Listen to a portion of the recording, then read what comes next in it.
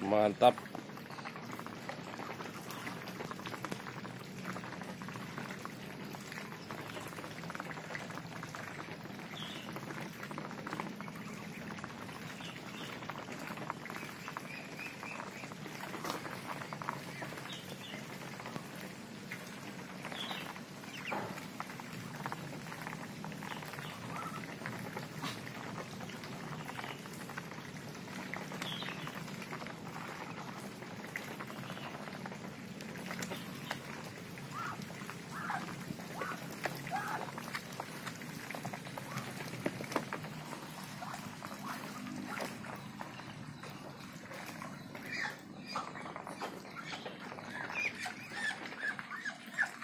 Terus